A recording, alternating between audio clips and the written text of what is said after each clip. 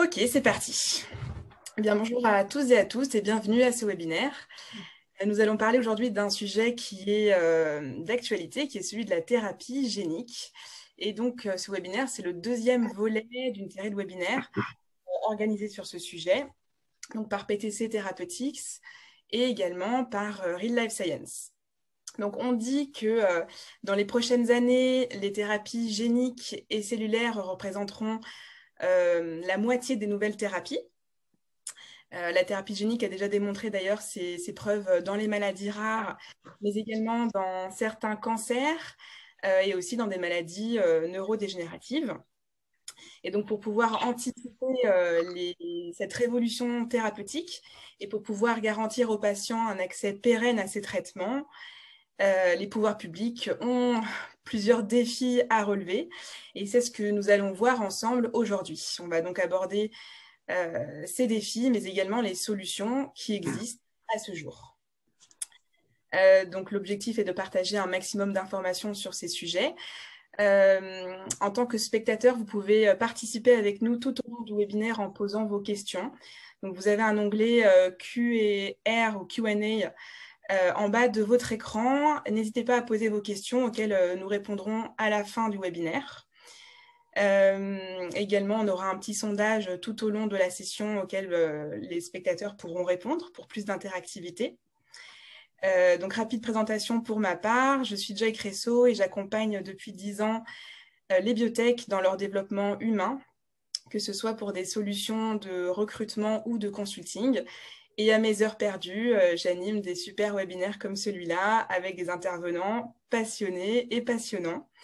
Donc, je vous propose un petit tour de table euh, de nos intervenants et je laisse la parole à Alice Santoro. Bonjour à tous, euh, ravie de partager ce moment avec vous. donc, je suis scientifique de formation, docteur en immunologie et je dirige la société TAC, qui est focalisé sur euh, de nouvelles thérapies contre le diabète de type 2. Et euh, je pense que je suis invitée aujourd'hui à participer à ce webinaire avec ma casquette de personnalité qualifiée du Conseil stratégique des industries de santé. Merci beaucoup. Sylvain Forget, je vous laisse poursuivre. Oui, bonjour à tous. merci beaucoup pour cette invitation. Donc, moi, je suis un, un pharmacien industriel qui a travaillé longtemps dans l'industrie pharmaceutique et qui maintenant dirige un cabinet de conseil qui s'appelle Blue Deal, qui accompagne les gens qui travaillent dans le monde des maladies rares.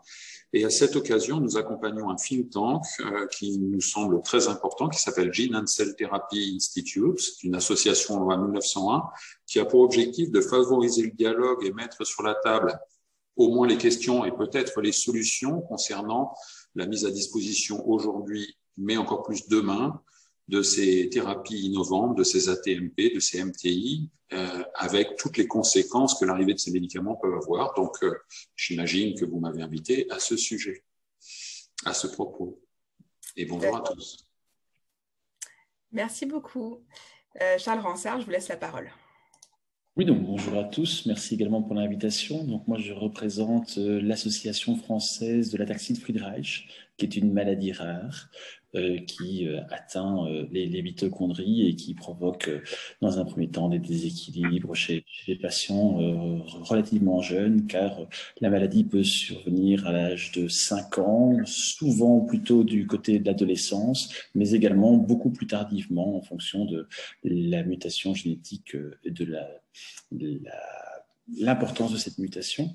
Donc, nous sommes une association qui rassemble actuellement 1000 membres en France, ce qui nous fait euh, de notre association une des plus grosses dans les associations de maladies rares. Donc, euh, et nous attendons beaucoup dans, dans, la thérapie génique. Merci beaucoup. Et Pierre-Olivier, je vous laisse conclure. Et donc, euh, bonjour à tous, Pierre-Olivier Boyer. Moi, je suis le, le général manager de PTC Therapeutics France. Euh, et donc, on a co-organisé cet événement euh, avec, euh, Ralph, avec Real pour justement discuter autour des thérapies géniques. Alors, pourquoi PTC s'engage dans les thérapies géniques? PTC, c'est une biotech qui est spécialisée dans les maladies rares. On apporte des solutions plus classiques avec des small molécules, et c'est déjà le cas dans la myopathie du chêne. Et aujourd'hui, on développe des thérapies géniques. Une première qui devra arriver sous peu. On a déjà utilisé les anciens systèmes d'excès précoce, l'ATU, et deux patients ont, pu être traités avec justement un des types de thérapies géniques. Et on verra un peu plus loin les différents types. Et on est en développement dans d'autres thérapies géniques, en particulier une dans l'ataxie Friedreich. Et donc, je pense qu'aujourd'hui, le but et pourquoi on a organisé ça, c'est de discuter ensemble, de voir euh, qu'est-ce qui reste à faire Qu'est-ce qui a déjà été fait On a parlé du CSIS, euh, il y a le plan innovation santé, il y a l'agence innovation santé, il y a, des think il y a PTC fait partie de, de GTI, dont Sylvain a, cité euh, le nom. on fait aussi partie de, de Grande TG, qui est un groupe de réflexion autour des nouvelles thérapies géniques avec d'autres biotech. Alors, sans oublier aucune, c'est Vivette, Amicus, Biomarine, Bluebird et Orchard. Et le but, c'est vraiment de, euh, de promouvoir l'attractivité de la France au niveau de thérapie génique et surtout d'aider à apporter des solutions innovantes auprès des patients. Et je pense que vous verrez à la fin de, ce webinaire que des belles choses ont été faites et en reste encore de très belles choses à faire. Et euh, voilà, donc euh, ne perdons pas plus de temps et attaquons. Parfait, merci à tous pour ce tour de table. Et donc pour démarrer ce webinaire, on vous propose une première question sondage à laquelle tous les spectateurs peuvent répondre. Donc, elle va s'afficher euh, sur votre écran et on aura quelques secondes pour y répondre. Alors, question environ combien de thérapies géniques sont en cours de développement dans le monde aujourd'hui? Selon vous, donc réponse A 50, réponse B 100 et réponse C 300. On vous laisse euh, quelques secondes pour répondre et voir un petit peu les tendances autour de nous. Et voilà. Donc vous êtes une majorité à avoir répondu 100 et euh, effectivement c'est la bonne réponse. Donc on a une centaine de, euh, de développements dans ce secteur-là aujourd'hui. Hop là. Euh, alors, pour démarrer, justement, on a vu en introduction euh, qu'il y a, euh, en fait, les thérapies géniques sont connues euh, beaucoup dans les maladies rares, mais finalement, on se rend compte qu'elles se développent de plus en plus dans des maladies qui sont plus fréquentes, finalement, comme certains cancers. Pierre-Olivier, est-ce que vous, pourriez nous expliquer aujourd'hui quels sont les différents types de thérapies géniques et aussi dans quel type de pathologie est-ce que ces techniques peuvent s'appliquer? Alors, euh, en effet, quand on parle de thérapie génique, en fait, on parle de différentes stratégies thérapeutiques. Euh, et je vais vous, vous, présenter très rapidement les différentes stratégies thérapeutiques. Alors, la première, euh, qui était sûrement la, première stratégie qui a consisté à importer une copie d'un gène fonctionnel dans une cellule cible euh, pour qu'elle s'y exprime et euh, qu'on puisse aboutir à la production de la protéine qui fait défaut. Ce gène est amené par un, est acheminé pardon, par, par un vecteur. Et le but, c'était de suppléer un gène malade. Et c'est sûrement celle-là, on, quand on parle thérapie génique, c'est celle-là à laquelle on, pense, et c'est celle-là où il y a le plus de challenge aujourd'hui euh, pour le développement. Et euh, d'ailleurs, on verra au niveau de la, bioproduction euh, plus tard dans le webinaire. Alors ça, pour moi, c'est vraiment la première stratégie développée en thérapie génique. Le but, c'est de traiter des maladies monogéniques. Et le gène thérapeutique qui va apporter ne va pas modifier le gène malade, mais il va s'ajouter au patrimoine génétique dans la cellule pour ben, compenser la fonction qui est déficiente. Et là, il y a deux méthodes. Il y a la méthode in vivo et ex vivo, mais je ne vais pas non plus rentrer trop dans les détails. Il y a une seconde méthode qui est assez connue, qui est la méthode éliminer ou réparer en fait un gène altéré directement dans la cellule. Alors là, la technique, c'est une technique d'édition génomique, pardon, et qui permet de réparer des mutations génétiques de façon ciblée. L'outil le plus connu, c'est le CRISPR. Il y a une troisième méthode qui est, qui en fait, on va aller cette fois modifier l'ARN. Euh, le but, c'est obtenir une protéine fonctionnelle. Alors là, la technique, elle consiste à faire produire par la cellule une version modifiée de la protéine qui lui fait défaut. Et là, ça nécessite l'injection de petits oligonucléotides antisens qui vont venir se fixer sur l'ARN messager et justement donc produire une version modifiée de la protéine qui fait défaut. Et, euh, voilà. La quatrième, oui, je crois que la quatrième méthode, c'est on va produire des cellules thérapeutiques par thérapie génique le cas le plus connu, c'est le, les carticelles dans le domaine du cancer.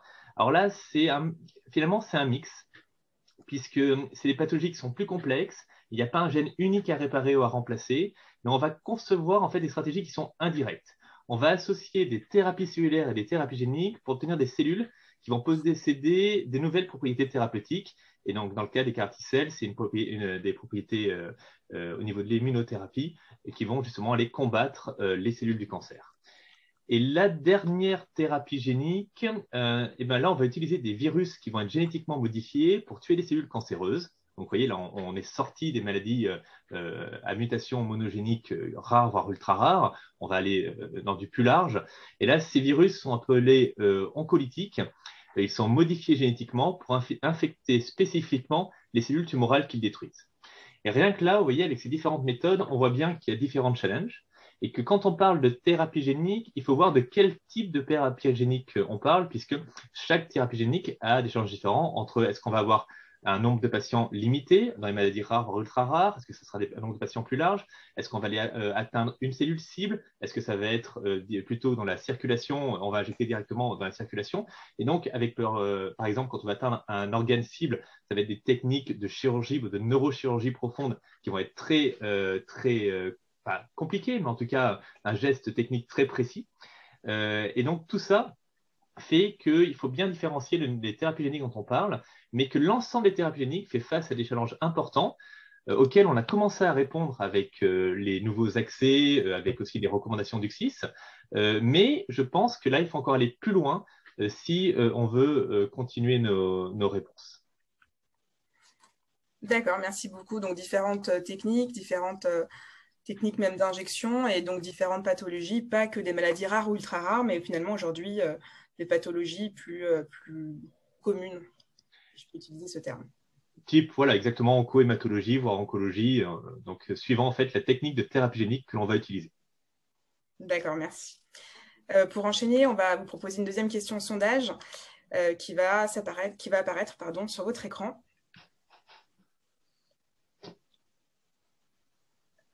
Alors,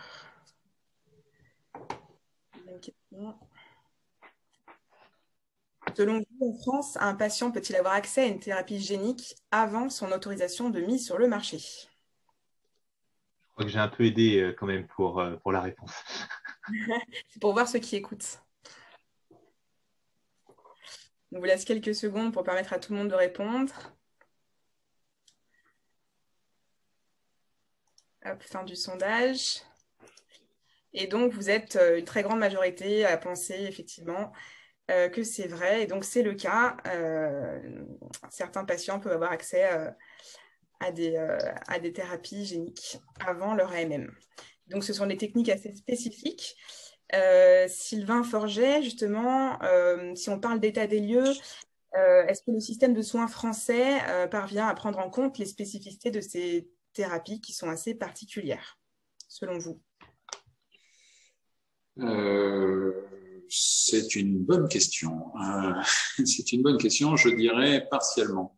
Comme vous venez de l'évoquer, euh, le système français a un peu tendance à avoir une vision mixte. Pour certains aspects, on va dire qu'on va faire des choses différemment des autres médicaments, et pour certains aspects, on va dire on va faire avec ces médicaments, puisque les thérapies géniques dont parlait Pierre-Olivier jusqu'à maintenant sont des médicaments. Euh, le système français a tendance à dire que euh, pour ces médicaments, eh bien, on va utiliser le même euh, mode d'emploi ou la même mode de fonctionnement que pour les médicaments classiques. Donc, euh, la réponse est partiellement oui. Après, on peut se poser la question euh, qui suit votre première question, est-ce qu'il s'en occupe, mais est-ce qu'il s'en occupe bien?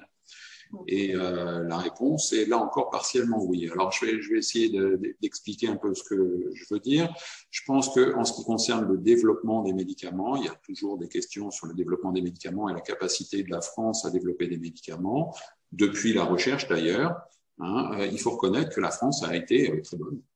Euh, à développer un certain nombre de concepts, développer un certain nombre d'idées, développer un certain nombre de, euh, savoir-faire, d'expérience, de candidats médicaments.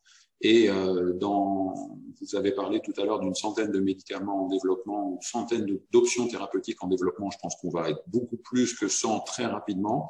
Il y en a beaucoup euh, qui viennent de choses qui ont été développées, inventées en France. Et donc, bravo à toutes les personnes qui ont été euh, impliqués, ce qui veut dire les chercheurs, mais pas seulement, euh, les patients, les pouvoirs publics, enfin une coalition de gens qui ont œuvré pour que ça soit possible.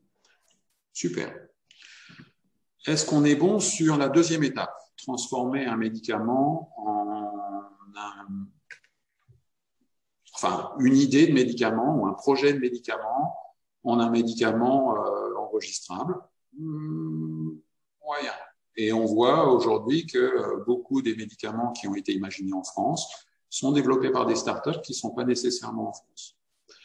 Est-ce qu'on est bon à produire les médicaments en France? Je pense qu'on euh, pourra en reparler et je suis sûr que Madame Santoro euh, pourra nous en dire quelques mots aussi. il y a vocation à améliorer les choses.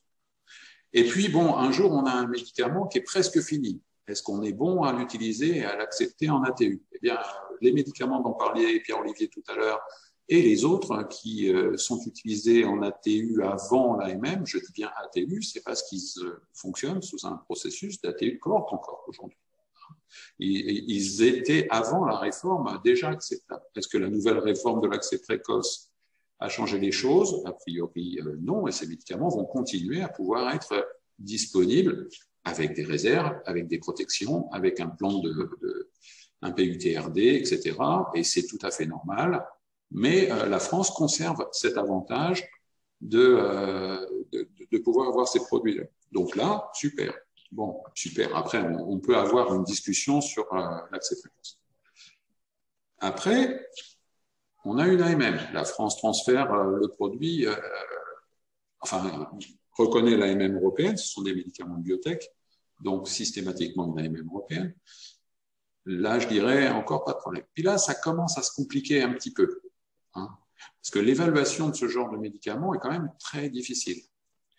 Euh, en particulier, l'évaluation des médicaments qui font une promesse d'efficacité à long terme. Ça, c'est très difficile parce que si on vous dit qu'un médicament va régler un problème de thérapie, enfin de maladie monogénique pour le restant de la vie du malade, ce qui est une promesse que personne ne peut prouver aujourd'hui, à moins d'avoir fait un essai clinique qui durerait toute la vie du malade, on est forcément obligé de prendre des hypothèses et de faire des, assumptions. Et à ce moment-là, on doit gérer l'incertitude. Là, ça, gérer l'incertitude, c'est quelque chose qui est compliqué pour les évaluateurs. Mais néanmoins, si on prend les quelques médicaments de thérapie génique qui ont eu une AMM en Europe, et si on prend, euh, par exemple, euh, Zintenglo, un produit de chez Bluebird, euh, il a été évalué et au regard des critères classiques d'évaluation des médicaments, plutôt bien, euh, avec une bonne note. Super. Donc là, a priori, est-ce que le système marche? Il semblerait qu'il marche. Est-ce qu'il faut qu'on le fasse évoluer pour que ça soit plus simple et que ça tienne plus compte des problématiques liées aux maladies rares, d'une façon générale aux orphan drugs? Et de la thérapie génique J'en suis convaincu, on pourra discuter ces points. Puis après arrive la question du financement. Et là, à mon sens, la question du financement, elle n'est pas résolue.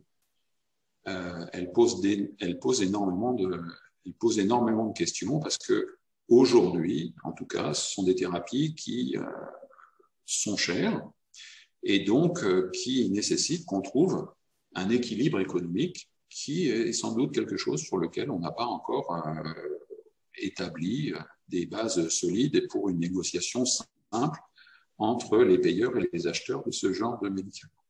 Donc là, je dirais, euh, ça reste à, faire. Ça reste à faire, même si pour l'instant, et de façon répétée, les interlocuteurs des industriels, euh, que sont euh, les représentants du CEPS, nous disent on va traiter les médicaments comme des médicaments normaux. Euh, moi, j'ai un doute par rapport au fait qu'on puisse complètement considérer que ce sont des médicaments totalement normaux. Euh, mais je ne demande qu'à être contredit. Et si on m'annonce demain qu'il n'y a plus de problème de prix pour les thérapies géniques, je considérerais ça comme une excellente nouvelle. Voilà. Donc j'essaye de balayer un petit peu. Des fois oui, des fois il y a des ajustements à faire euh, qui me semblent nécessaires et qu'on pourra discuter. Et s'il y a des questions, on pourra en discuter avec le public, s'il vous plaît. D'accord, merci beaucoup. Vous avez donc euh, relevé pas mal de défis euh, qui sont actuellement en cours, que ce soit en termes d'évaluation, d'enregistrement, d'accès ou de financement. J'ai envie de donner la parole à Alice Santoro, justement. Vous avez participé au dernier XIS. Et donc, justement, quelles sont les, mesures du plan qui s'appliquent à la thérapie génique et qui auront un impact direct sur ces thérapies? Euh, déjà, je, tenais à dire que le, constat énoncé par euh, Sylvain Forget, euh, c'est un constat qu'on a entendu, hein, effectivement, et, qui a, été intégré dans, les réflexions du CSIS, ou en tout cas qui, a dû être intégré dans les réflexions du CSIS. Alors, le CSIS, vous connaissez, hein, on, a, rendu notre, notre rapport avec, des propositions de très nombreuses mesures. avec un objectif clair énoncé par euh, le gouvernement, qui est comment euh, faire que la France euh, redevienne leader en 2030 en innovation en santé. Donc c'est un, objectif extrêmement ambitieux. Le gouvernement a pris à peu près 90% des mesures du CSIS et le plan innovation santé a été annoncé début juillet par le président de la République, avec sur la table 7, 7 milliards d'euros d'ici 5 ans euh, ces 7 milliards faisant partie du gros package du, plan de relance. Alors, euh, oui, bien sûr, la thérapie génique a complètement été intégrée euh, dans les réflexions de ce plan. Thérapie génique, thérapie cellulaire. nous savons aujourd'hui que nous devons anticiper les technologies et les thérapies de demain. Hein, si on veut être leader en innovation en santé, il faut anticiper ces thérapies de demain. Euh, et donc, bien sûr que thérapie génique et thérapie cellulaire, ce sont des thérapies de demain. Il ne faut absolument pas euh, euh, rater le virage. Donc, pour cela, normalement, les, les, mesures qui ont été annoncées par le gouvernement concernent directement ces, ces, ces, biothérapies hein, géniques et cellulaires. Pas uniquement, parce que le plan ne doit pas être sectoriel. Hein, il s'applique bien sûr à, tous les médicaments, mais je dirais même à tous les dispositifs médicaux, solutions digitales, diagnostics. Hein, il y a vraiment une volonté de ne pas cloisonner, justement. C'est important. Euh, mais bien sûr que ces mesures euh, s'appliquent euh, aux produits de thérapie génique et cellulaire. Alors, par exemple, donc le, plan, je ne vais peut-être pas le dérouler, hein, mais peut-être pour faire écho à, à ce qu'a mentionné Sylvain Forgère, par exemple, en ce qui concerne le développement des médicaments, donc vous disiez, ça se passe plutôt bien. Or, pourtant, le constat, c'est de dire la France est encore en perte de vitesse sur les essais cliniques. Il faut absolument faire quelque chose. Hein, donc, nous, on ne s'est pas satisfait justement de, cette situation. Et euh, dans les propositions, vous avez euh, un axe fort qui est la réforme des CPP, qui est attendue par tous les acteurs, y compris par vous, hein, je pense avec une clarification des CPP et du rôle de la, de, l'ANSM, des moyens financiers, des recrutements, euh, des indemnités données aux évaluateurs, euh, une revalorisation de leur carrière, etc. Euh, autre point concernant les essais cliniques qui concerne directement ce que vous avez dit aussi, ce sont la possibilité de mettre, de, mettre en place des essais cliniques en ville. Donc, ce qu'on appelle des essais en vie réelle, des essais adaptatifs. Donc ça, ça répondra euh, à, euh, la question euh, comment mener des essais cliniques sur le long terme, comment évaluer des, médicaments sur le long terme? Alors, c'est une volonté, c'est plus qu'une volonté, puisque aujourd'hui, il y a des groupes de travail qui sont, qui sont formés, hein, qui sont pilotés en direct par, par la DGOS, pour, pour voir comment, comment prendre à bras le corps ce sujet. Euh, et puis euh, l'inclusion des patients, hein, puisque tous les acteurs nous ont dit que ça, mettait du temps, donc euh, une vraie des, mesures pour, pour, mobiliser les CHU pour inclure plus rapidement les patients. Donc ça, normalement, c'est des mesures qui devraient encore améliorer le développement clinique des, des, biomédicaments. En ce qui concerne les startups qui ne sont pas en France, effectivement, et les essais. Alors, d'où le premier point essai clinique, c'est pour justement, hein, pour, pour, faire que la France redevienne attractive pour faire des essais cliniques en France. Euh, il faut que la France aussi redevienne attractive pour faire venir des entreprises innovantes, voire pour garder nos entreprises innovantes talentueuses. Donc ça, ça a été vraiment un sujet euh, extrêmement travaillé. Le constat, c'est de dire que la France a rattrapé son, son retard ces dernières années pour la création d'entreprises innovantes, avec énormément d'idées, énormément d'innovations. En revanche, ces sociétés, elles ont du mal à grandir en France parce qu'elles ne trouvent pas assez d'argent, hein, elles n'ont pas accès à suffisamment de capitaux. Donc finalement, elles trouvent des investissements étrangers ou elles se font acheter trop précocement et elles partent. Et quelquefois, elles changent de nom. Hein, et au final, on dit, mais finalement, euh, l'invention n'est pas française, alors qu'en fait, l'invention est française. Donc euh, là, il y a plusieurs, euh, plusieurs aussi mesures très fortes qui ont été mises en place. C'est comment faire que ces sociétés puissent rester en France en ayant accès à plus de capital. Donc c'est en renforçant les fonds, renforcer les fonds, renforcer l'investissement de BPI France en fonds de fonds avec euh, plus d'un milliard, un milliard et demi d'euros dans les prochaines années. Mais c'est surtout euh, renforcer l'innovation TIBI. Je ne sais pas si vous connaissez, mais c'est permettre à certains fonds en santé euh, de recevoir beaucoup plus d'investissements institutionnels, comme par exemple venant des mutuelles, des assureurs, de l'épargne. Donc là aussi, il y a un groupe de travail, une mission en particulier qui est en train de, qui est, qui est, en train de se faire euh, sur ce, sur, euh, sur ce sujet. Et vous voyez d'ailleurs en France des grands fonds hein, qui commencent à émerger, euh, type Jaito, enfin, Sophie Nova qui renforce aussi son... son... Donc vraiment, on veut aller dans ce sens-là avec une obligation pour eux d'investir dans un minimum de sociétés françaises hein, et de ne pas, de pas investir uniquement à l'étranger. Et puis, euh, bon, vous avez euh, des, des, appels à manifestation qui vont représenter euh, des grands montants sur les aspects production et essais cliniques. Et vous avez aussi surtout la mise en place d'un fonds technologique de souveraineté. Donc ça, c'est l'État qui va intervenir, qui va avoir la capacité d'intervenir au capital des sociétés, mais en utilisant des critères différents que ceux qui sont utilisés par les investisseurs. Ça veut dire que ce fonds investira dans des sociétés qui ne permettront pas forcément de faire euh, un multiple de sorties euh, très intéressant, mais qui ont une vraie problématique d'apporter une solution thérapeutique intéressante aux patients, ou alors d'avoir euh, une, vraie, une, une, vraie valeur économique. Donc pouvoir garder ces sociétés-là en France en, mettant de l'argent au capital pour éviter justement des délocalisations et on, en a connu hein, ces, dernières années. Des sociétés dans lesquelles euh, les investisseurs ne mettent pas et pourtant des sociétés qui ont énormément de valeur pour, pour l'État et en termes de, de, souveraineté nationale.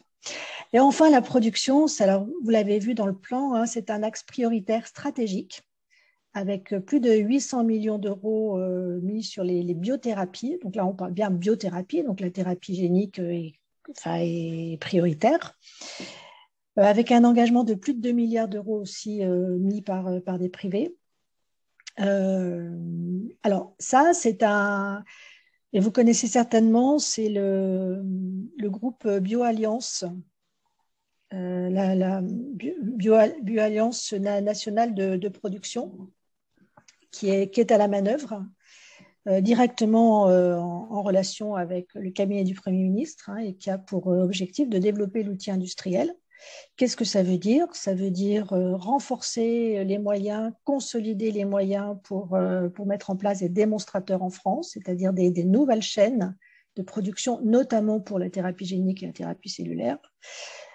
Financer, aider à l'émergence et financer de très grands programmes publics-privés euh, et enfin, comme je disais tout à l'heure, euh, pouvoir, euh, pouvoir soutenir des, des, projets de bioproduction qui coûtent énormément d'argent à travers des appels à manifestation d'intérêt. Notons aussi que le gouvernement a diminué les impôts de production. Hein, et donc ça, ça devrait aussi contribuer à faire que la France devienne attractive pour la bioproduction. Donc voilà, par exemple, trois axes de mesures pour rendre la France attractive sur les essais cliniques, les entreprises, euh, les entreprises innovantes et la bioproduction. J'ai dû être un peu longue, désolée. Mais euh, c'est très intéressant et je pense que c'est des informations que tout le monde n'a pas. Donc merci de les partager avec nous. Euh, effectivement, je suis consciente du temps, donc je vais avancer sur les questions. En termes d'accès au marché et de parcours réglementaire de manière générale. Donc un autre volet concernant les thérapies géniques. On sait que l'accès au marché, c'est déjà quelque chose de suffisamment compliqué pour un médicament classique. Euh, j'ai cru comprendre qu'il y avait euh, davantage d'acteurs euh, pour les thérapies géniques, ce qui peut transformer ce parcours en parcours du combattant. donc Pierre-Olivier, est-ce que vous pouvez nous expliquer justement le parcours d'une thérapie génique aujourd'hui? Alors, je vais, essayer d'être bref. Généralement, ceux qui disent ça sont longs, mais je vais essayer d'être bref. le, c'est le parfait lien, et, je vous remercie, Sylvain et Madame Santoro, de, euh, de, vos commentaires, puisque c'est exactement ça le, lien. Il faut améliorer les choses et on va dans le bon sens. Et c'est vrai que ce qu'a apporté le XI, c'est les plans innovation santé le font. On va améliorer les choses. Notre expérience chez PTC, c'est quand on a mis en place les ATU nominatives. À l'époque, c'était encore ATU, c'était pas encore l'early access, enfin accès euh, précoce ou accès compassionnel. Euh, et ben, avec une, une, thérapie génique, donc qui était euh, celle dont je vous ai parlé au départ, suppléer un gène malade, donc une thérapie, une thérapie qui ciblait euh, un gène, une thérapie monogénique, et qui était acheminée grâce à un vecteur AAV, et c'est un OGM. Donc la première porte d'entrée, c'était le Haut Conseil des biotechnologies, qui a disparu depuis, qui a été remplacé par une autre agence. Mais en tout cas, on ne rentre pas par la santé, on rentre par d'autres ministères. Et bon, déjà, ça, c'est toujours un peu étonnant quand on vient apporter un médicament pour un patient. Euh, ensuite, on a rencontré la NSM, on a rencontré la HAS, on a rencontré la DGOS, on a rencontré la DGS, la DSS, l'ARS. Je pourrais vous en citer plein des, acronymes comme ça. Je pourrais vous donner tous les noms des acronymes derrière. Euh, mais ce que je veux dire, c'est qu'il y avait trop d'acteurs euh, et personne n'avait un réel pouvoir. Et à chaque fois, c'était un peu, vous savez, la, vision là, de les 12 travaux d'Astérix avec la maison des fous où il nous fallait le certificat et voilà. Et ben on a vécu ça, on y est arrivé. Euh, et on a été très fiers d'y arriver parce qu'on a réussi à, aujourd'hui déjà apporter cette solution à deux patients. Euh, il faut savoir que notre thérapie, c'est une neurochirurgie profonde. J'en dirai pas plus, euh, mais ça, ça complexifiait la chose pour une thérapie génique. Et en tout cas, je suis d'accord qu'on améliore, je suis d'accord qu'il y a des super plans. On va améliorer la bioproduction. Alors la bioproduction, c'est très large, hein, parce que, et on va en parler plus tard, mmh. mais si on prend que la thérapie génique, il y a encore des belles choses à faire. Et le cas et un, très bel exemple de ce qu'on peut améliorer euh, dans l'avenir. Et euh, le, tout ça pour, pour dire que oui, il y a des incertitudes. Alors, elles sont à différents niveaux. Elles sont au niveau euh, précoce, essai clinique, accès précoce. Elles sont au niveau aussi du financement, comme l'a très bien cité Sylvain. On, travaille pour améliorer ces incertitudes et d'ailleurs, les administrations et l'État nous écoutent et veulent améliorer les choses. Moi, je pense qu'il est important de mettre différents acteurs autour de la, autour de la table et peut-être que les acteurs les plus importants, c'est euh, finalement les autorités et la compagnie, mais ce ne sont pas les plus importants. Les plus importants pour moi, ce sont les filières de soins qui ont la vraie connaissance. Et quand on voudra mettre en place des études de ville avec les données de virelles sans filière de soins, on ne pourra pas. Mais encore plus important, ce sont les associations de patients. Et c'est vrai que là, on a la chance d'avoir euh, M. Ransard euh, aujourd'hui avec nous. Et je pense qu'il est vraiment important de voir quels sont leurs besoins et comment on peut les aider en apportant des thérapies innovantes et comment eux peuvent nous aider justement dans euh, bah, créer un parcours unique qui sera le, créer le plus précocement possible ce parcours unique au niveau de l'essai clinique, au niveau de l'accès précoce ou après l'AMM. Généralement, ce sera plutôt avant avec des thérapies aussi innovantes. Et donc, comment être autour de la table, comment discuter ensemble, comment finalement créer un contrat de à quel moment on doit se rencontrer pour récupérer des données et pour finalement partager ces incertitudes et les diminuer au maximum? je ne sais pas si Monsieur Ransard, vous êtes euh, là ou pas. Oui, je le vois connecté, mais euh, ah voilà, vous nous entendez. Voilà, j'ai quelques petits problèmes de connexion, donc j'avais euh, diminué euh, ma bande passante. Donc oui, tout à fait, je pense qu'il est important que tout le monde se mette autour de la table, car c'est vrai que surtout dans le cadre des maladies rares, il faut savoir que les patients attendent, que le temps des patients n'est absolument pas le temps euh, des chercheurs et encore moins le temps de l'administration, hein, parce que c'est vrai qu'il euh, faut quand même se, penser aux patients qui euh, ont eu des, des, informations, parfois des informations peut-être un petit peu biaisées parce qu'elles sont toujours euphoriques. Hein, quand on dit qu'il y a un médicament qui arrive sur le marché, surtout une thérapie génique, ou comme on l'a dit tout à l'heure, ce sont des thérapies qui sont euh, euh, mises en avant en disant que c'est un traitement sur le long terme, c'est vraiment quelque chose qui fait rêver. Euh, et ensuite, être confronté à des problèmes administratifs et de ne pas voir arriver le, le médicament, c'est très pénible, surtout quand ce sont en plus des maladies qui sont évolutives. C'est-à-dire que quand on voit euh, sa propre personne ou un membre de, sa famille proche évoluer, se dire que le médicament, il est là, et on peut presque le toucher les doigts, mais qu'il n'est pas encore mis sur le marché, c'est euh, très pénible. Et je pense que les, les, ATU euh, et les accès précoces aux, médicaments, là, ont, toute leur importance. Donc, après, oui, je pense qu'il faut également que toutes les parties se mettent autour de la table, car il faut quand même savoir qu'il y a des personnes qui sont euh, désespérées dans les malades. Euh, donc, il est, vraiment capital que la réglementation soit quand même bien cadenassée, car il y a des gens qui vont dire euh, oui, c'est pas 100% safe, mais de toute façon, moi, je, veux, je veux avoir le médicament, je veux le prendre, je veux être guéri, même si jamais le la, proportion, le pourcentage de chances d'être guéri euh, est très faible. Donc, je pense que oui, il faut bien cadrer tout ça. Donc, euh, les autorités ont, quand même leur mot à dire pour que euh, il, n'y ait pas de, débordement. Ça, c'est sûr et certain. Mais je, crois qu'en se mettant tous autour de la table, en, partageant chacun nos expériences, et en voulant tous aller dans le même sens, et c'est ça qui est surtout très important, on, peut arriver à quelque chose de bien. Et euh, comme vous l'avez dit, oui, c'est vrai qu'avec ces nouvelles thérapies, on a un petit peu une page blanche devant nous. Donc je pense que c'est l'occasion de, pouvoir peut-être euh, euh, lever des barrières qui sont existantes ou, bien prendre se rendre compte de, certains paramètres qui, sont propres aux maladies rares et qui ne sont pas euh, euh, actuellement toujours bien euh, pris en compte. J'entends par là que quand on demande d'avoir un essai clinique qui montre de façon catégorique l'efficacité d'un médicament, quand c'est une maladie rare où finalement nous n'avons qu'une cohorte de 10 patients, c'est très difficile d'avoir en fait un, rapport statistique mettant en évidence l'efficacité du médicament de façon catégorique. Hein, parce que chaque maladie rare, chaque patient va avoir sa propre évolution. Et donc, quelquefois, l'efficacité de la thérapie n'est pas spécialement euh, euh, objectivable. Voilà, j'entends par là qu'une personne qui ne se prend pas du tout en charge, qui rentre dans un essai clinique, eh bien, il va y avoir une certaine prise à charge et, l'effet placebo, mais qui est plus que l'effet placebo, c'est-à-dire que euh, en plus de l'effet placebo, la personne se sent entourée, euh, elle se lève le matin, elle s'habille, elle va jusqu'à l'institut de soins et euh, tout ça fait qu'elle se bouge. Et si jamais après on doit mettre ça de façon dans un graphique en disant mais maintenant mais la personne bouge mieux, la personne se sent mieux, la personne. Oui mais ça vient d'où? Ça vient de l'effet du médicament ou ça vient simplement de l'entourage et du fait que la personne se suivit donc là, en fait, on a biaisé un petit peu l'efficacité du médicament par rapport à quelqu'un qui, elle, était bien entourée, se prenait en charge, faisait de la kiné, de l'orthophonie. Et, là, on vient simplement rajouter ce petit paramètre qui est la thérapie et cette thérapie pourrait encore avoir un effet profitable.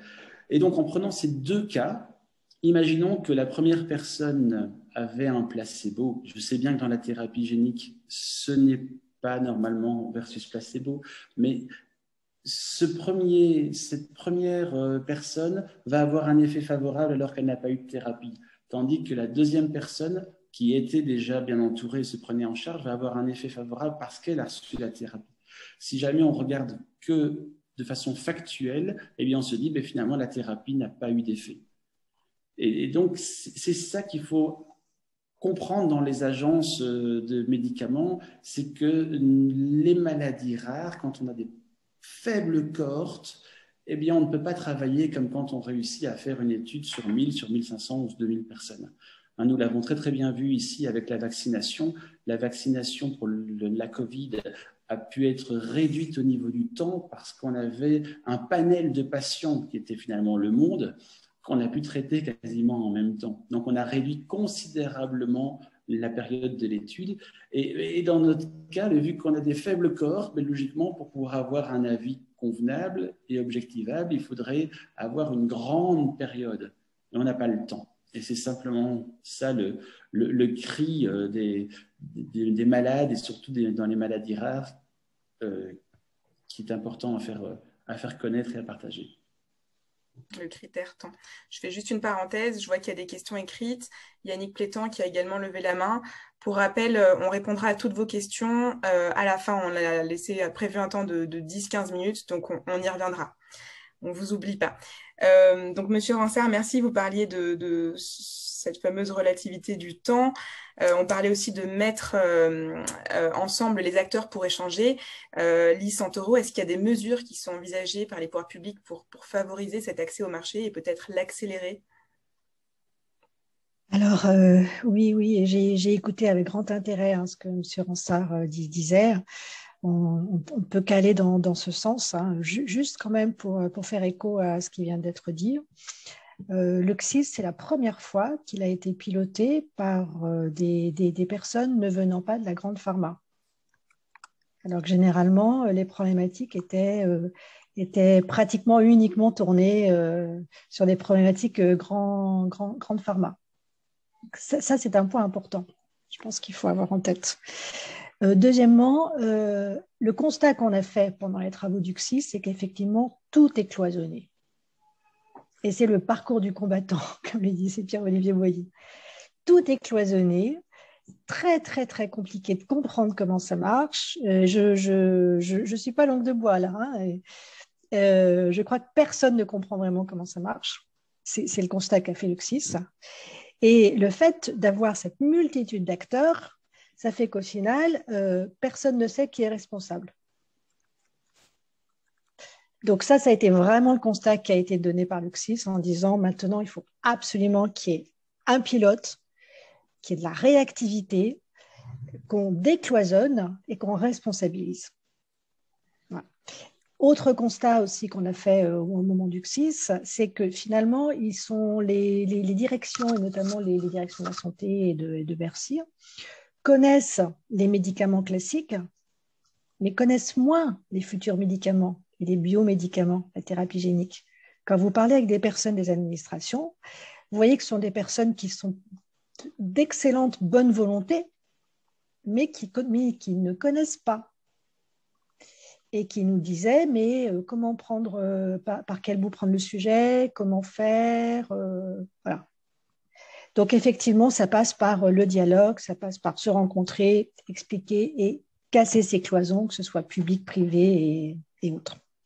Alors, pour coordonner, euh, nous, euh, deux, choses. On a, recommandé, sur la base de ce constat, on a recommandé très fort euh, la mise en place d'une agence innovation santé qui devrait avoir cette mission, qui devrait avoir la mission d'avoir un rôle transverse qui dépend, qui dépend du ministre de la Santé, de l'Industrie et de la Recherche, qui soit une petite équipe, hein, genre, genre, commando, hein, qui soit très, très réactive, avec des cellules, qui a un, vrai rôle décisionnaire et un budget propre, et qui puisse prendre les sujets que vous, que, que vous venez de mettre sur la table. Ça veut dire euh, filière de soins, ça veut dire euh, maladie rare, ça veut dire euh, faire, euh, faire, faire discuter les, les, euh, euh, les, les, agences centrales, faire qu'il n'y ait qu'un guichet unique pour l'entrepreneur, comme par exemple ce que M. Boyer a dit, ce n'est pas normal. Ce n'est pas à l'entrepreneur de prendre le temps et d'aller taper à la porte de toutes ces agences. Donc voilà, c'est comme une entreprise. Vous avez, un gouvernement et des administrations qui sont extrêmement cloisonnées. Il faut vraiment euh, une cellule commando qui, qui, euh, qui, euh, qui, prennent à sa charge des, des, projets transverses. Les ATU, bien sûr, sont renforcés. Hein. Il n'y a, a, a, pas de remise en cause de, ces mesures. les essais cliniques en vie réelle, ça répond à ce que disait M. Ransard hein, sur comment évaluer le médicament sur le long terme, surtout dans le cadre des maladies rares. Et puis, vous avez noté aussi dans le plan une mesure d'accès immédiat au marché pour les, pour les ASMR 1 à 4, ce qui est aussi assez nouveau. Autre façon de faire travailler, donc voilà, faire travailler les acteurs ensemble, c'est l'AIS. J'espère vraiment, parce que je ne je, je vous cache pas que je suis inquiète, parce que sur le papier, euh, ça semble être vraiment la bonne solution, mais maintenant, euh, ça va dépendre des, hommes et des équipes. Et puis, euh, autre mesure, les pôles, les unités de lieu. Et ça aussi, ça a été proposé dans le cadre du projet, que ce soit à travers des, IHU ou des pôles. Hein faire travailler tous les acteurs ensemble, recherche, valorisation, les cliniciens, les hôpitaux, d'où le rôle d'IHU, mais les patients aussi, hein, mettre les patients euh, au centre du jeu, les agences réglementaires, euh, les producteurs, euh, les formateurs, les petites entreprises, les grandes entreprises. Donc c'est vraiment, on, pense que ça devrait passer par, par une unité de lieu pour que tous ces acteurs se rencontrent, discutent et travaillent ensemble. Et, ça, a priori, si l'État si respecte ses promesses, il devrait y avoir une dynamique en ce sens. Merci beaucoup. Euh, on a encore beaucoup de questions pour terminer ce webinaire, mais je vois qu'il y a aussi des questions du public, donc euh, je suis consciente du temps. Ce que je vous propose, c'est peut-être de commencer à répondre à quelques questions pour permettre aussi au public de participer. Euh, là, très rapidement, je vois, à ton idée du calendrier pour le lancement de cette nouvelle agence Innovation Santé dont vous parlez? Oui, elle doit être prête. appuyez sur le bouton 1er janvier 2022 justement dans, les points, euh, et je vous remercie de ces commentaires. Déjà, je voulais remercier M. Mansart pour euh, son, témoignage et de voir euh, la vraie vie. Je ne sais pas s'il y a une fausse vie, mais en tout cas, ce que vivent les patients au quotidien. Et souvent, on oublie que derrière tout, toutes ces agences, tout, toutes ces discussions, tous ces dossiers à monter, il y a des patients, des patients qui, qui attendent et il ne faut pas ni leur surpromettre, ni leur survendre. Euh, mais il faut surtout les prendre en compte. Et encore un grand merci pour votre, votre témoignage, parce que finalement, si on est là aujourd'hui, si on parle thérapie génique et l'attractivité de la France, et surtout euh, comment apporter ces solutions innovantes aux patients qui en ont besoin. Euh, sur les, pour répondre aux deux questions, alors c'est vrai que l'annonce, c'est qu'au 1er janvier 2022, elle doit être prête à, partir. Dans les discussions qu'on a pu avoir, nous, avec Grande TG et avec différentes administrations, la thérapie génique, c'est un sujet qu'ils veulent porter. Euh, vraiment, ils ont bien conscience aujourd'hui euh, ben, qu'il y a un besoin de guichet unique, qu'il y a un besoin de, clarifier les choses et que finalement, euh, c'est important, on parlait des patients, c'est important pour le patient d'avoir ce, cette clarification de manière à savoir quel est le timing, quel est, en combien de temps, d'avoir des, vraies, des vraies promesses, mais une, réalité, quelque chose de pragmatique sur quand les médicaments seront disponibles, à minima en accès précoce et puis sur du plus long terme. Donc euh, aujourd'hui, c'est vraiment bien, puisque dans les, pistes, et ça répond à une deuxième question, euh, dans les pistes que le gouvernement envisage pour améliorer l'accès aux thérapies géniques, l'agence Innovation Santé euh, est une pierre d'angle, peut-être même la pierre angulaire sur, sur la réponse et fera partie intégrante du pôle Innovation Santé 2030. après, sur comment répondre à ce besoin de pédagogie sur les biomédicaments au sein des acteurs publics? Je pense que c'est une excellente question. Je peux vous laisser répondre, d'ailleurs, si vous avez, si vous avez des éléments de réponse. Euh, moi, ce que je vois, c'est que finalement, le type des webinaires comme on est en train de faire aujourd'hui, ça en fait partie. Ça en fait partie puisque aujourd'hui, on ouvre une discussion sur la thérapie génique, puis il y a des, des think comme PCTI euh, qui aussi permettent d'avoir ces discussions et justement de voir euh, ben, comment faire de la pédagogie, comment expliquer qu'est-ce qu'une thérapie génique, quels sont les enjeux et ben, quels sont les challenges qui sont face à nous pour, pour pouvoir y arriver. Oui, je te, remercie et je, reprends la, la, main sur ça. Pierre-Olivier, effectivement, euh, euh les, les, les, mesures qui ont été euh, détaillées euh, par euh, sont, sont, très bonnes et euh, elles vont dans le bon sens. Nous, chez GNCTI, on s'est fixé quatre objectifs auxquels on voudrait contribuer. On a mis toutes ces questions-là dedans et euh, les solutions qui ont été apportées par l'Oxys vont dans ce sens-là. Mais néanmoins, la première des batailles, selon nous, la première des batailles, c'est la formation et l'information. le partage d'informations. Euh, nous avons vécu euh, il y a quelques mois euh, des épisodes très mouvementés sur la loi de bioéthique. On se rend compte parfois que des gens qui doivent prendre des décisions importantes manquent d'informations. je suis sûr que M. Ransard sera d'accord avec moi pour dire qu'on a vécu ça dans le monde des maladies rares à nombreuses reprises on a l'impression de rajouter une couche en plus quand on parle de thérapie génique parce que finalement, il y a beaucoup de fantasmes. Et euh, la formation, euh, j'ai l'habitude de dire que la, formation moyenne des, Français sur la thérapie génique, c'est X-Men. Hein. Euh, c'est ça qui est prégnant pour tout le monde. Donc, si on veut rentrer un petit peu plus dans le détail et permettre à tout le monde de comprendre les cinq familles de thérapie génique que tu as évoquées euh, au début, euh, Pierre-Olivier. La première bataille, c'est la formation. Et c'est la formation pour tout le monde. C'est la formation pour tout le monde à tous les niveaux. Euh, il faut que le grand public soit mieux informé s'il le souhaite. Il faut que les politiques et les décideurs et les administratifs comprennent un petit peu de quoi on parle et les spécificités par rapport aux médicaments et aux structures qu'ils ont l'habitude de, de, rencontrer ou avec lesquelles ils ont l'habitude de travailler. Euh, il faut que les médecins et les pharmaciens commencent à inclure des cours sur la thérapie génique dans les études de médecine, ce qui est encore un truc euh, très récent. Et puis, il faut qu'on arrive à mieux mobiliser toutes les volontés de participer à cet effort de formation. Quand on a commencé GNCTI, on a recruté pas mal de gens euh, et ils ont tous dit oui, oui, on veut participer, on va tous faire un film de trois minutes sur la thérapie génique. Peut-être qu'en mettant 20 personnes qui veulent faire 3 minutes pour euh, décrire le même sujet, on pourrait faire euh, deux heures avec des séquences qui permettraient d'aller un petit peu plus loin. Enfin, comment coordonner ça? Et euh, très vraisemblablement, l'agence d'innovation santé va avoir besoin d'avoir des interlocuteurs qui comprennent ce dont on est en train de parler. Ça, c'est ça, ça, très, très, très important. Bon, c'est la mère des batailles. C'est la mère des batailles. Parce que après toutes les discussions éthiques autour de la thérapie génique, on n'en a pas encore parlé maintenant, mais il y en a plein. Toutes les discussions éthiques, euh, si elles ne sont pas éclairées par un minimum d'informations partagées euh, et un minimum de, consensus sur ce dont on est en train de parler, ce ne sont que des discussions de, de café du commerce. Donc, pareil, on ne peut pas faire d'éthique si on ne sait pas de quoi on parle.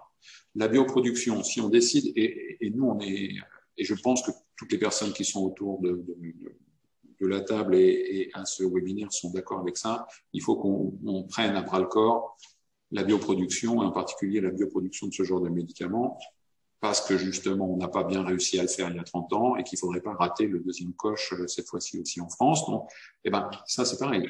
De quoi est-ce qu'on est en train de parler? Euh, comment est-ce qu'on développe un médicament, c'est quoi le rôle des intégrateurs, comment est-ce que euh, techniquement ça fonctionne. C'est pas forcément clair pour tout le monde et l'anecdote de Pierre Olivier qui rentre par le ministère de l'Agriculture parce que c'est une OGM et, en est un bon exemple. Euh, donc euh, la formation, l'information est absolument indispensable et l'information c'est pas seulement des gens qui donnent des cours, c'est les gens comme l'a fait Charles Ransard un instant qui expliquent leur quotidien.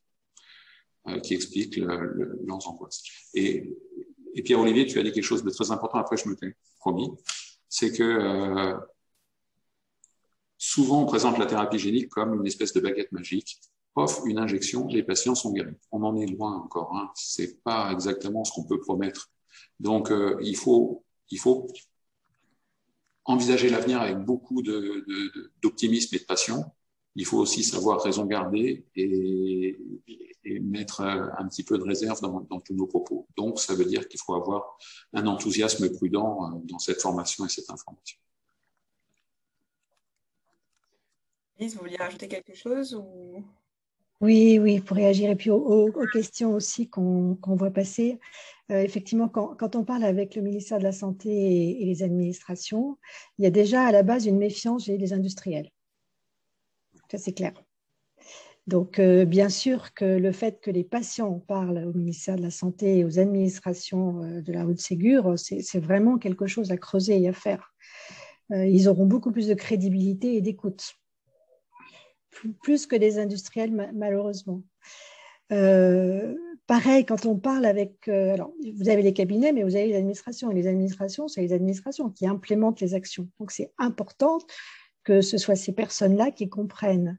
Et en discutant avec eux, vous savez, ils sont, ils sont dans un rôle, donc ils ne vont pas vous dire on ne comprend pas, on ne sait pas.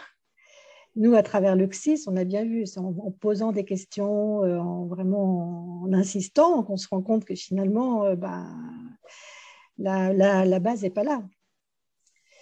Euh, et autre point important aussi, un message que je souhaiterais partager avec vous hein, pour essayer de faire avancer les choses, euh, c'est que la thérapie génique euh, au ministère de la Santé est souvent connectée à prix très élevés. Et c'est quelque chose qui fait peur aussi. Donc ils ont peur, euh, ils ont peur en ouvrant la porte, on va dire, à la thérapie génique, d'arriver à une situation où ils ne pourront plus contrôler le, le, le, budget et les coûts. Donc c'est important, de, je pense, de, leur expliquer quels sont les enjeux. Ce n'est pas uniquement un, enjeu financier, mais c'est un enjeu de santé, euh, un enjeu quelquefois de santé publique, euh, qu'il y a des économies aussi de santé qui, qui, indirectes qui sont faites. Euh, voilà, c'est tout ce travail de, pédagogie et, encore une fois, les, patients, les associations de patients sont les, sont les mieux placés pour porter ça aux côtés des industriels. Je, rebondirai, je rebondirai sur ce point, je crois que vous avez entièrement raison. Après, aujourd'hui, on est dans les, on fait nos premiers pas hein, dans, la, dans, la, dans la thérapie génique et je laisserai très rapidement la, la, la main aux questions. Et je pense qu'il faut quand même garder en tête qu'il y a 10 ans, quand on faisait une cartographie, une cartographie génomique, un génome complet, c'était plus d'un million d'euros. Aujourd'hui, c'est autour de 5000 euros. Ben, c'est la même chose. La promesse euh, de thérapie génique, c'est en particulier euh, celle avec vecteur AAV, c'est dans 10 ans d'améliorer le rendement de production par 100, d'avoir des plasmides et des vecteurs qui sont entièrement remplis, et donc de diviser le prix, peut-être pas par 100, mais à minima par 10. Et mais si on rate le coche maintenant de la bioprod parce qu'on pense que ce sera trop cher, dans 10 ans, ce sera trop tard. Or, dans 10 ans, ce sera accessible. C'était le cas de la voiture électrique il y a 10 ans. Il y a 10 ans, c'était inaccessible. Aujourd'hui, il y a plein de voitures qui sont au prix d'une voiture thermique. Donc, euh, on arrivera à la même chose. Et j'arrête là il nous reste 4 minutes. J'ai laissé euh, le micro donc pour Yannick Plétan qui voulait poser une question, qui a la main levée. Yannick, je ne sais pas si. Oui, c'est oui, j'ai deux, deux, questions. D'abord, je voulais féliciter Lise Santoro pour, sa, pour son implication dans le CSIS et je trouve ça fantastique. Et quand j'ai lu le, le, document final, je me suis dit que vraiment c'était un, un, très grand progrès. Et en même temps, j'essaie de me garder d'être toujours un, un suroptimiste. Euh, ce que j'ai été pendant pas mal d'années en étant au moins pendant 15 ans le porte-parole du LEM. Et euh, par rapport au CSIS, je me souviens du moment où on avait créé le CENGEPS, par exemple, dans lequel moi j'ai siégé. Et euh, dans le CENGEPS, on avait énormément de, mesures par rapport à l'attractivité de la recherche clinique en France. J'ai trouvé que c'était excessivement positif à l'époque. Et euh, ça a créé beaucoup d'embauches. Il, y avait un bottleneck qui était les embauches de, personnel dans les hôpitaux pour mener les essais cliniques, des, arcs et des techs ça a amené à pas mal d'embauches. Il s'est trouvé que quand le, le, le ZenGEPS a été euh, re, reconduit pour trois ans, à la deuxième année euh, de la reconduction, euh, on, a, on mutualisé son budget avec d'autres postes, d'autres postes budgétaires d'État. résultat, il n'y a plus cette sécurisation qu'avaient les hôpitaux et ils ont mis fin pour l'essentiel au contrat qu'ils avaient. Donc, ce que je suis en train de dire, c'est que, enfin, moi, l'attractivité de la France en recherche chimique, c'est le combat de ma vie. Hein. Donc, euh, j'ai quelque chose, euh, j'ai vraiment envie de voir ça aboutir un jour, euh, de mon vivant, du moins. Ça serait que on, trouve le moyen de pérenniser ces postes et de ne pas faire des contrats à durée déterminée de deux, deux ans, trois ans, et qui finalement euh, disparaissent dans la nature parce qu'à un moment donné, leur budget n'est pas, est pas sanctuarisé. C'est le premier point. Et bon, voilà, si ça pouvait être fait. Mon deuxième point est très rapide, mais il n'a rien à voir. Depuis euh, cinq ans, j'ai basculé dans le monde des biotech, de la thérapie génique, de la thérapie cellulaire. Et euh, je me rends compte que, par exemple, la BPI, qui va se voir dotée de moyens supplémentaires, euh, je me posais la question de savoir si elle allait changer aussi sa critériologie, sa façon d'aborder les, sociétés. Je remarque, pour avoir pitché par rapport à eux dans, dans beaucoup de dossiers, tous totalement innovants, euh, qu'ils ont euh, une aversion au risque et qu'il euh, est souvent plus facile de convaincre des, des, des venture capitalistes privés que la BPI pour des sociétés françaises qui proviennent souvent, sont des spin-offs universitaires, qui vraiment portent un message pour la France sur des sujets extrêmement importants pour les patients, pas forcément des petites cohortes de patients, quelquefois des, des grands sujets, et parce que le risque est trop grand, eh bien, on n'y va pas. Et puis quelquefois, euh, parce que le projet euh, ne se distingue pas d'une plateforme, par exemple, il y a des plateformes extrêmement innovantes, ça n'est pas fait non plus. Et j'ai eu, malheureusement, j'ai vu des sociétés, des, des, des startups euh, qui ont collapsé à la suite de ça. Et je trouve que le, le, le, la BPI n'a pas joué son rôle d'émulateur des, solutions françaises. Et, voilà. Et même des gestes petits auraient permis de passer, de bridger, de permettre de passer jusqu'à des séries A ou des séries B euh, pour euh, des, levées de fonds privés. Les fonds non dilutifs sont extrêmement importants pour, les, pour ceux qui créent des sociétés. Je ne sais pas si ça appelle une réponse ou... Ah, c'est des, des, souhaits, en fait. C'est des souhaits de voir les choses évoluer. Je ne sais pas si vous avez réfléchi sur ces points-là. Oh oui, bien sûr. Et puis vous savez, je suis patron de biotech aussi, donc euh, je, connais vraiment la, réalité du terrain. Euh, mais c'est des sujets très très compliqués au niveau de l'État. Donc euh, bien sûr qu'on a, on a essayé de faire bouger les choses, mais c'est, ça reste très compliqué.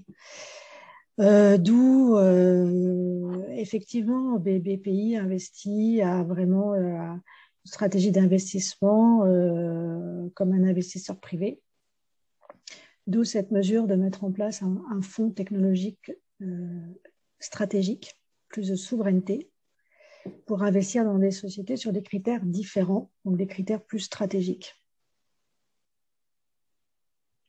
Euh, L'AIS devrait participer au comité de sélection de ces projets et devrait mettre de l'argent euh, dans, des sociétés justement qui, qui, seront stratégiques pour la France. Sans, raisonner sur uniquement euh, euh, une attractivité de multiples de sorties, comme ça se fait aujourd'hui chez BPI. Et ça se fait trop. juste pour, pour, conclure, je, je vous laisserai la main, Joyce. Je crois que le financement est aux différents moments de la vie d'un médicament. Alors, si on parle de, de start-up françaises et de biotech, et d'ailleurs, euh, France Biotech fait un, fait un, très beau euh, travail là-dessus, mais le financement est important au, tout début de la vie, mais aussi, euh, j'ai envie de dire, la fameuse traversée de la veille de la mort et même après, puisque si demain on n'a pas des prix qui correspondent réellement aux sommes engagées et, et à ce qui euh, juste un retour sur investissement classique, puisqu'il ne faut pas oublier que oui, on fournit des solutions innovantes pour des patients, mais on reste des industries et qu'il faut qu'il y ait un retour sur investissement. Et eh ben, il n'y aura pas d'attractivité française et que on voit de plus en plus des. Euh, alors, il y a le problème start-up, il y a le problème post-AMM ou accès précoce, où des entreprises euh, particulièrement américaines se demande, pose la question, doit-on envisager un lancement en France ou pas? Ce qui était mm. une question qui ne se posait jamais il y a, il y a quelques années et aujourd'hui commence à se la poser. Et euh, je ne citerai qu'un exemple, euh, c'est Bluebird Bio qui s'est retiré de l'Europe il y a trois mois. Donc euh, voilà, je pense que le, le, financement est très important et je crois que ça, ça, a été bien pris en compte.